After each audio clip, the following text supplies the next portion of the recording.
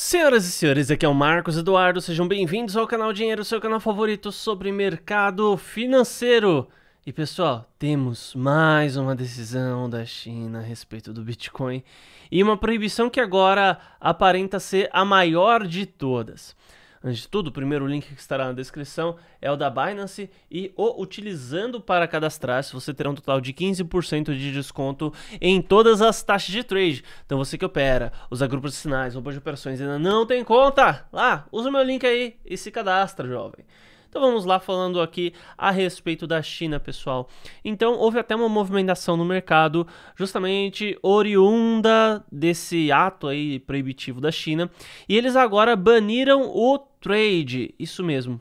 Você não pode comprar ou vender Bitcoin e criptomoedas na China. Claro que isso daí é para nossa zero surpresa. A gente sabe o tipo de política que existe lá na China e a política da dentadura, se é que você me entende. Então, dane-se a vontade da população, dane-se é, qualquer indício de democracia que alguém ainda acreditou que existia lá e, e, já era. E agora então não se pode comprar ou vender Bitcoin e criptomoedas nesse país.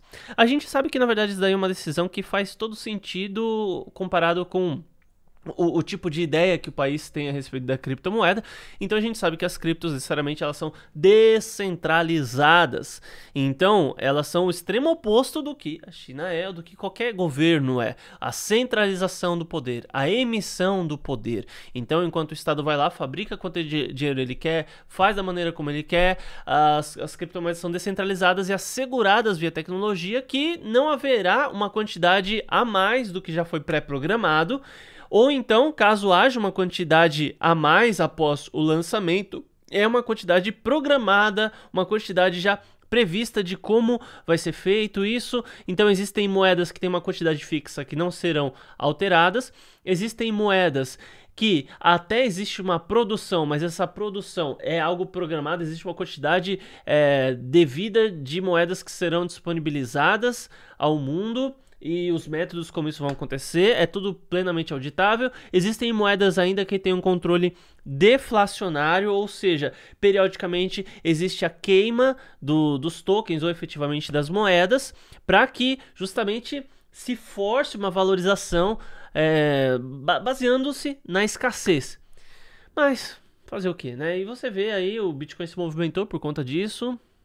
E não tem o que a gente fazer, né? Mas vamos ficar esperto. Muito obrigado por ter assistido, espero que o material tenha sido útil e até mais.